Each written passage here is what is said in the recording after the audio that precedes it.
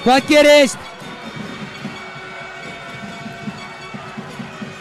Alli Teitur og Teitur skorar! Teitur og Teitur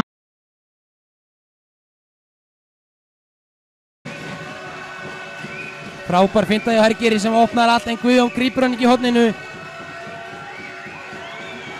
Elvar Hendi hendi kominn honum upp. Elvar, wow. Elvar hendi honum. Elvar. Wow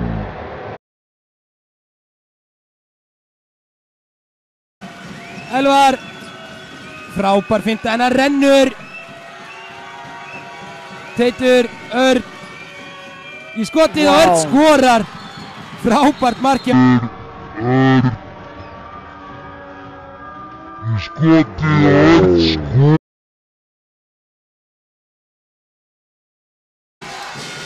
Sverrir og til eitthvað heitur. Það lítið að gera. Já, Ákvæmlega gert hjá Þóri. Þarna var hann sig.